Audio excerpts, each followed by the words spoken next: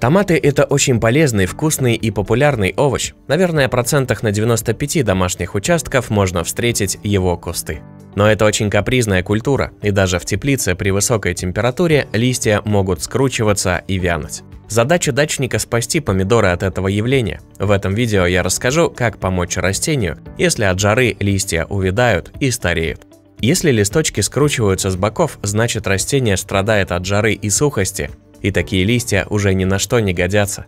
Их можно удалять и обеспечивать хорошую проветриваемость помидорам. Но если жара стоит слишком долго, то начнут портиться все листья, и без них растению не выжить, а значит нужно затормозить этот процесс.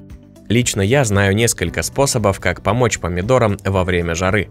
Можно закрыть теплицу спанбондом, либо же меловой краской, чтобы сделать затенение, намного чаще поливать растения. А еще ученые доказали, что кремний помогает увеличить жаростойкость листьев растения.